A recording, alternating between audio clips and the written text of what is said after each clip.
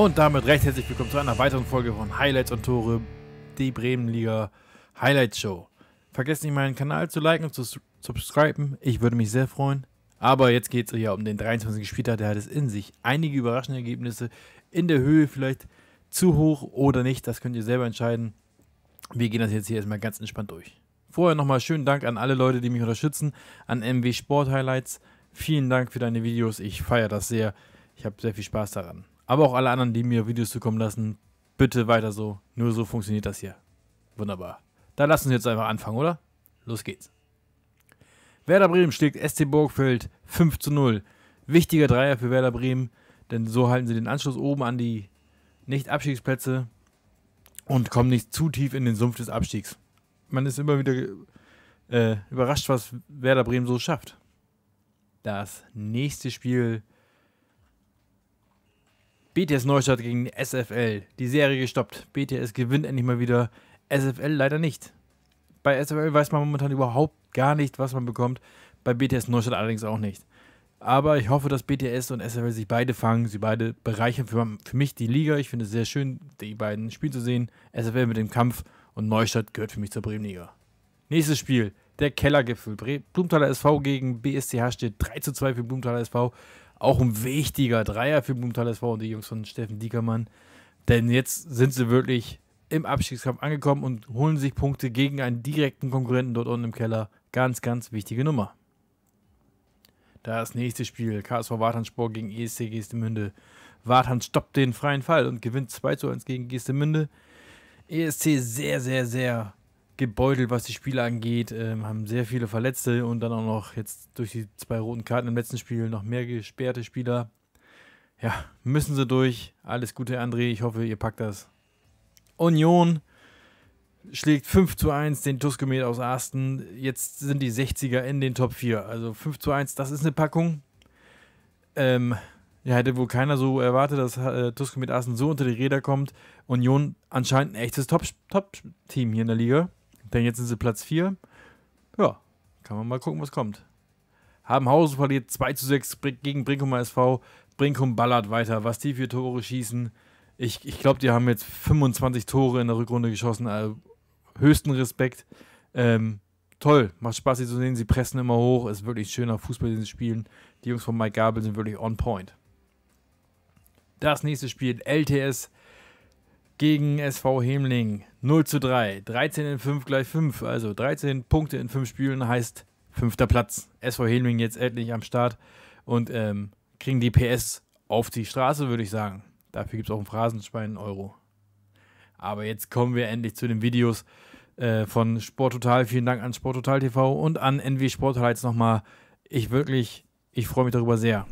Beginn tun wir beim Chancenfestival in Bremerhaven, USC Bremerhaven gegen TuS Das sind sehr viele Szenen, Leute, da müssen wir durch. Ähm, es sind sehr viele Tore, äh, Chancen gewesen. Und ähm, ja, ich bin gespannt, ob euch es auch so gefallen hat wie mir. Ich habe da die einigen Szenen rausgesucht. Am Ende haben wir nochmal einen Originalton von ähm, Böning in Reinkultur, kann ich sagen. Ich liebe seine Interviews. So jemand, der so auf dem Boden ist, wunderbar, wirklich. Aber jetzt lass uns beginnen mit den ersten Szenen hier.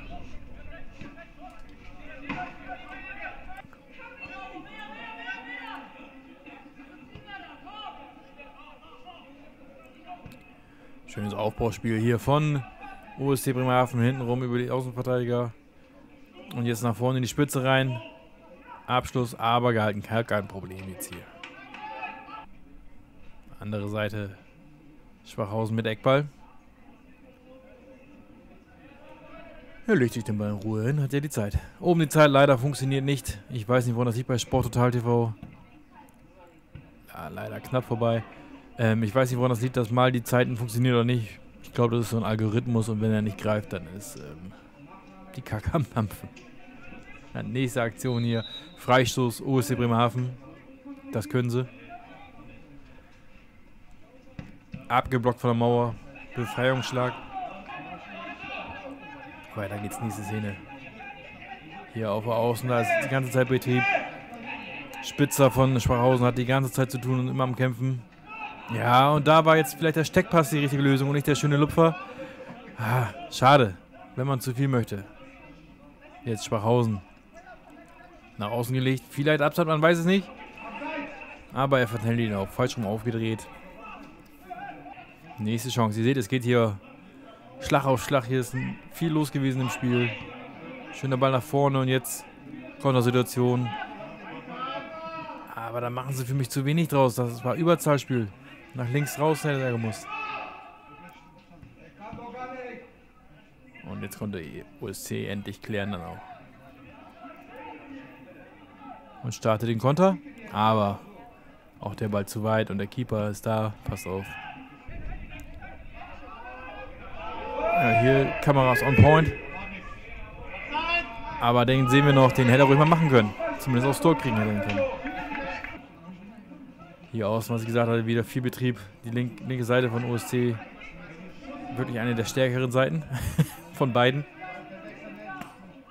Schön aufgedreht, jetzt rübergelegt, lang gemacht, breit gemacht das Spiel.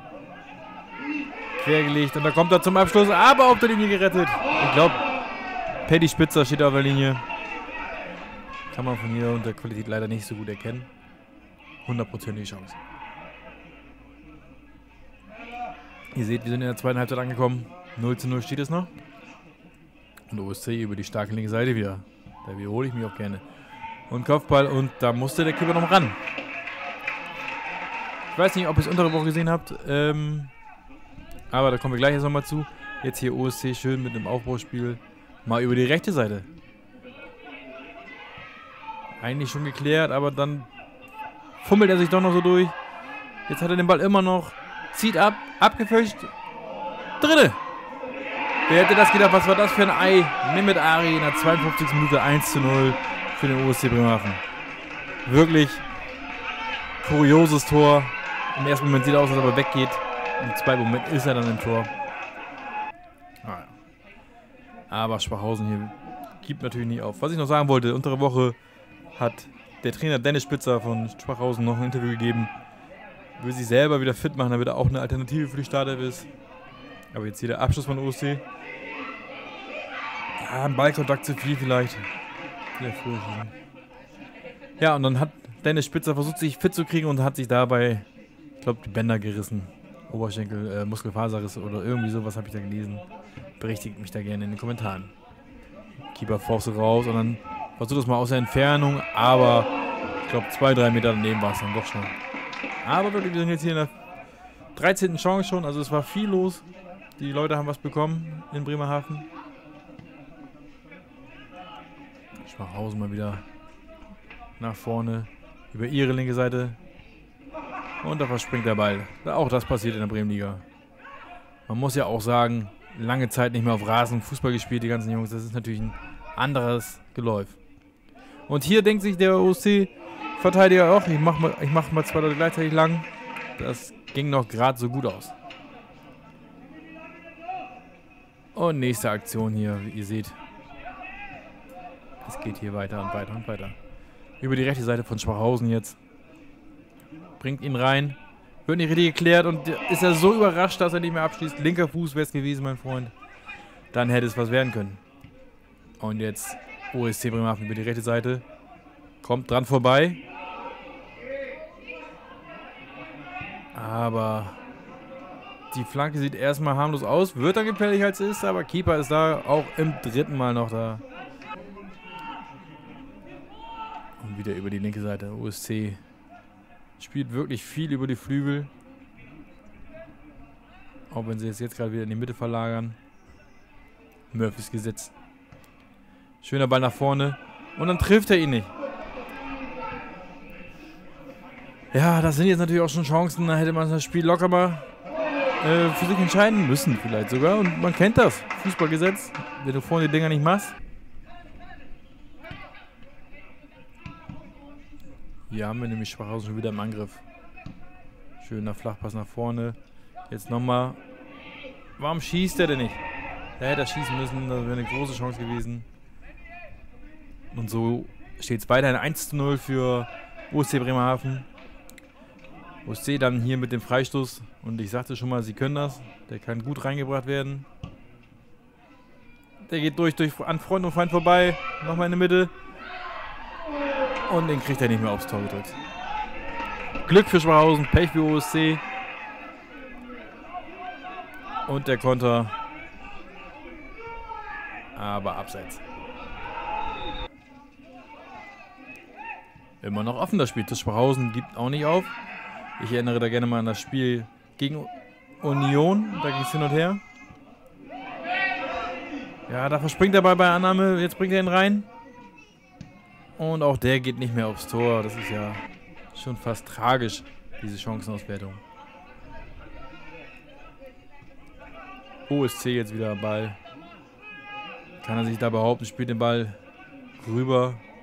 Er macht ein bisschen Geschwindigkeit, bringt den Ball rein. Der senkt sich gefährlich.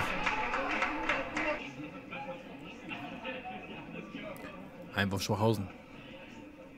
Einwurf wie Ecken. Jetzt klären sie ihn. Hochbringgefahr. Da sehen wir warum. Der Keeper verschätzt sich so ein bisschen. Keeper nicht im Tor und dann auf der Linie. So eine Szene hatten wir in der ersten Halbzeit andersrum. Jetzt ist der Ball im Aus. Abstoß. USC. Guckt euch das an. Da musste mehr draus machen, mein Lieber. Das 2 gegen Keeper musste ein Tor machen. Da beißt ihm sich kein Faden ab. Wieder Konter USC Bremerhaven. Zu weit vorgelegt und Spitzer ist da und klärt das. Und damit bleibt es beim 1 zu 0 für USC Bremerhaven. Gratulation zum Sieg. Arbeitssieg.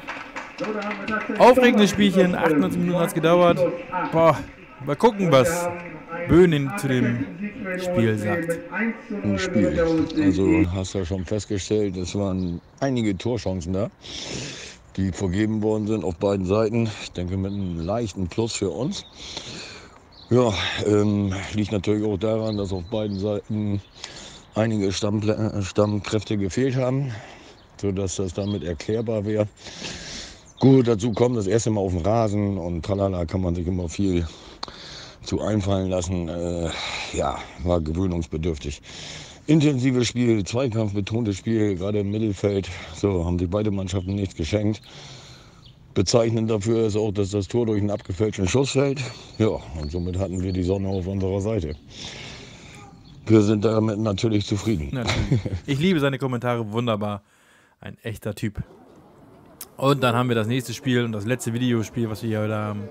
Bremer SV gegen die SG Aumund Fegesack. Auch hier jede Menge Chancen. Und ähm, ja, ich freue mich, dass ihr immer noch dabei seid. Denkt auch mal dran, wenn euch das Video gefällt, lasst ein Like da, kommentiert.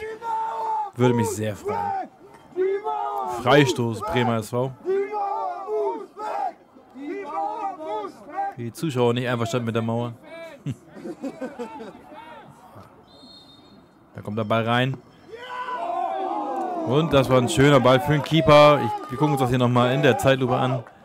Da freut sich der Autogrammkartenjäger, wenn er dann gleich einen Knips macht. Wir sehen es hier schön in die Torwart-Ecke.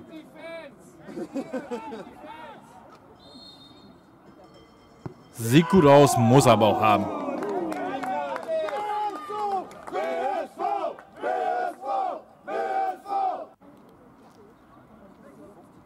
Und jetzt haben wir hier draußen den Ball.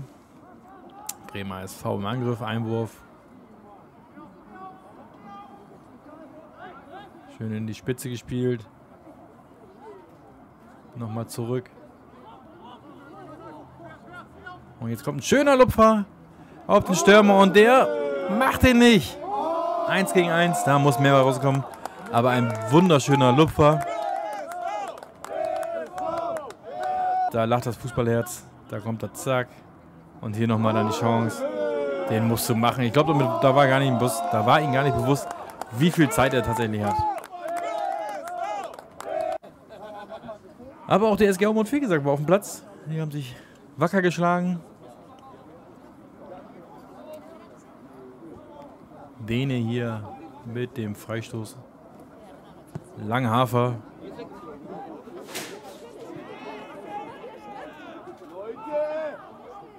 Und dann der Abschluss. Aber ein, zwei Meter am Tor vorbei. Und wieder der Bremer SV am Ball. Auch hier mal ein langer Ball, durchaus mal im Mittel. Und Schiedsrichter pfeift Handspiel. Das können wir uns gerne nochmal angucken. Dann wird es auch recht deutlich. Hier. Da kommt die Hand raus. Ich glaube, Abdullah Bastas. Ich glaube schon, dass es Handspiel war. Und der fällige Strafstoß. Sebastian Kurkovic dreht an. Stramm halb hoch, linke Seite. Machst du nichts als Keeper. 1 zu 0, 21 Minute. Sebastian Kurkovic.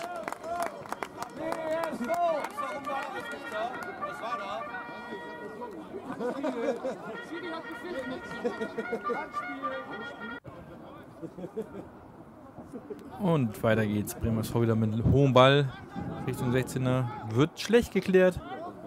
Hatte Zeit gehabt. Vielleicht fehlt das Kommando.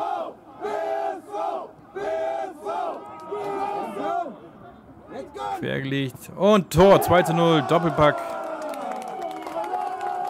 29. Minute. Das 2 zu 0. Fabio Orlik.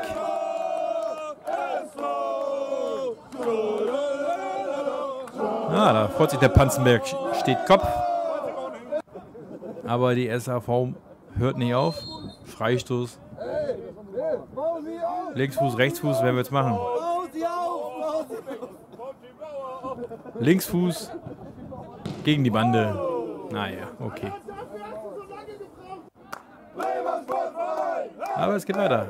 SAV kämpft, aber Bremer SV gewinnt den Ball im Mittelfeld. Ein langer Ball auf die rechte Au Außenseite. Schön hinterlaufen und dann knapp übers Tor. Schöne Aktion, schönes Spielzug. Haben wir aber auch schon öfter gesehen, auch gegen Neustadt, damals noch am Kunstrasenplatz, haben sie diese Variante sehr oft gespielt. Und hier Strafstoß auf der Gegenseite, SG Aumund, wie gesagt, im Angriff. Und ich kann nicht richtig, ich glaube, er wurde gehalten, aber boah, kann ich nicht erklären, äh, sehen.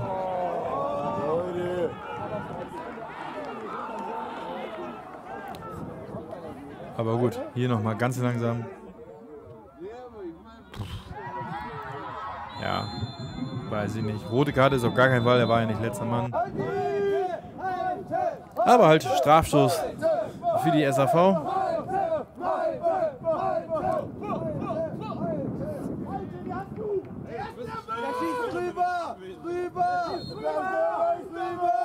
Und linke Seite halb hoch, genau wie auf der anderen Seite. Abdullah Bastas, 42 Minuten Anschlusstreffer. Wir gewinnen nur einer! War uns das keiner! Wir gewinnen nur einer! Und weiter geht's. Sind immer noch in der ersten Halbzeit. Mal aus der Entfernung, warum nicht? Gar nicht so weit vorbei.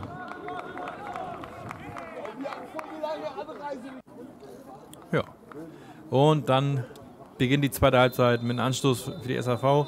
Und jetzt bitte klärt mich auf, ist das eine Anstoßvariante oder nicht? Also das sieht bis hierhin noch recht einstudiert aus und jetzt kommt doch viel, oh, mal hoch und dann mal gucken. Aber funktioniert ja. Kriegt ihn dann aber leider nicht am Keeper vorbei. Oh, was ist leider? Kriegt ihn nicht am Keeper vorbeigelegt. Dadurch bleibt es bei einem 2 zu 1 Zwischenstand. Eckball BSV. Konnte erstmal geklärt werden.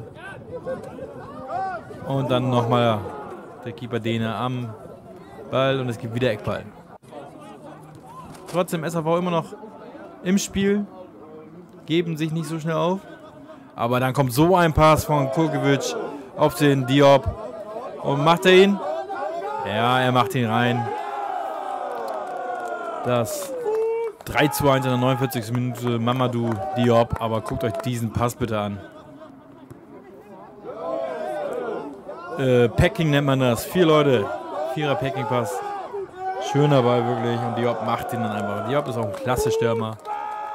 Davon braucht man nicht so viele Chancen. Vorsichtig ausgedrückt. Eckball SAV. Und dann nimmt er ihn sich.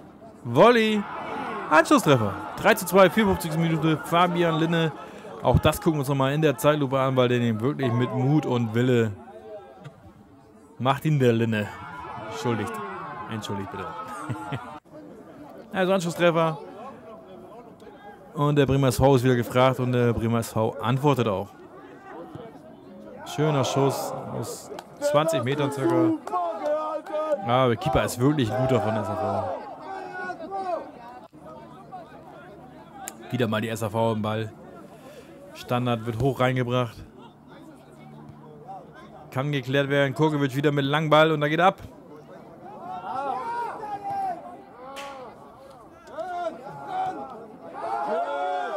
Und kann gehalten werden. Und der zweite Ball auch noch. Hätte man vielleicht mehr von machen müssen. Jetzt Stürmerfaul auch noch. Schöne Aktion, aber Dene wirklich gutes Spiel. Bremer ist wieder Ball im Mittelfeld. Nach links außen. Quergelegt. Kukovic mal auf rechts, glaube ich, ist er. Schöner Kopfball. Immer noch. Selbe Ergebnis. Auch ein genauso chancenreiches Spiel wie das andere Spiel in Bremerhaven. Und hier ein schöner Ball jetzt. Jetzt 2 gegen 1. Er legt ihn quer, er macht ihn rein. So, macht, so spielt man das aus. Jan-Luca Warm in der 70. Minute zum 4 zu 2. Ja, der Panzenberg sagt selber, es könnte Abseits gewesen sein. Ich weiß es nicht, ich vertraue auf die Schiedsrichter. Standardsituation, Standardsituation Bremer SV. Ball kommt hoch rein. An Freund und Feind. Und er trifft. Einmal auftrumpfen lassen, dann reingemacht. Benjamin Duell. 5 zu 2, 72 Minuten Doppelpack. Und das zieht natürlich so ein bisschen den Zahn von der SAV. Am Panzenberg mit drei Toren hinten liegen ist dann schon eine, schon eine Nummer. Aber Bremer SV hört genauso wenig auf in dieser Rückrunde, wie der Brinkheimer SV auch nicht aufhört. Die spielen immer schön weiter auf Tore. Der war auch wieder was für die Autogrammkarte.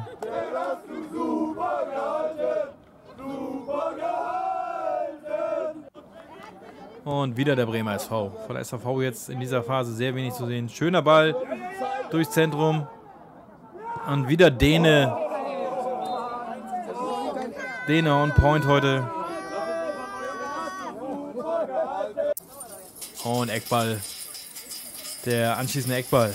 Bremer SV. Schöner hoher Ball. Halb hoch meine ich natürlich.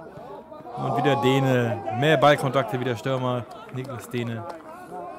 Ja, hat er wirklich gut gehalten. Super gehalten. Auf den Fußballplatz. Es muss ja nicht die Bundesliga sein. Bundesliga sein. Bundesliga Schlussendlich war es das aber. Der Bremer SV gewinnt deutlich 5 zu 2, wenn auch zwei Minuten für diese Deutlichkeit gereicht haben. Aber ich denke trotzdem verdient. SAV und die Jungs von Kremer müssen gucken, dass sie den Anschluss halten. Und ich hoffe, dass sie das auch werden.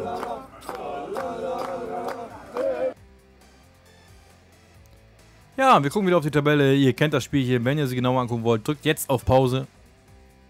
Ansonsten danke ich, dass ihr wieder zugeschaut habt. Ich hoffe, euch macht Spaß. Denkt dran, liken, subscribe, lasst mir einen Kommentar, guckt bei Instagram vorbei. Ich würde mich freuen. Wir sehen uns. Bis dann. Ciao, ciao.